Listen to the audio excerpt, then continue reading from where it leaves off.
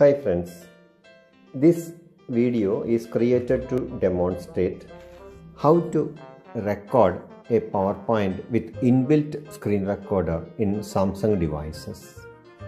We can switch on camera here or we can switch off. Similarly, we can write on this PowerPoint using the uh, tool available in the menu of Microsoft PowerPoint. Here it is the icon. Just touch on that icon.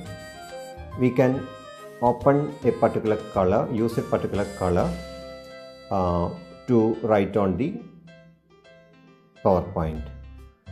In this way, we can write formulas or draw anything here. Meanwhile, we can start the PowerPoint also by touching the PowerPoint. From left side to right, we can move our finger to change. Then afterwards, if we want to remove all the lines, just touch on eraser or just touch erase all. Then all the lines may disappear. Then again we can write here.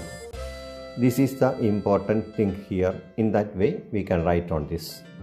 And if we want to exhibit our video again, there is such an option or we can just touch and